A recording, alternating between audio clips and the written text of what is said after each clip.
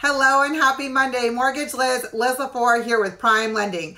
And so today our topic for our Monday is going to be about employment.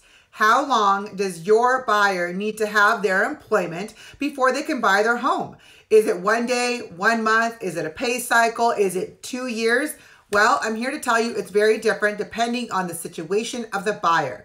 So let's say, for example, that your buyer just started a brand new job and just started today. Well, technically, you could be able to verify their employment based on today that it is a regular employment at 40 hours. And then you can use their regular 40 hour employment. What if your buyer has not started their employment but still wants to buy their first home? Well, if they have an offer letter that allows them to be able to buy their home that qualifies with them that same income, they can buy their home. They don't have to wait for that first pay stub.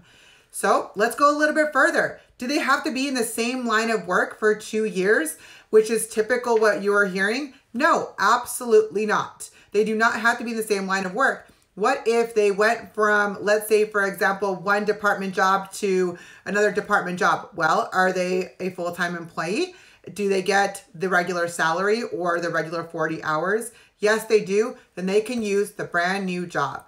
What if they go from a regular employment to a self employment? Well, that's when it makes it a little bit different. That's when you're having a little bit more questions and you may be able to use it, but it depends on the history, depends on where they came from.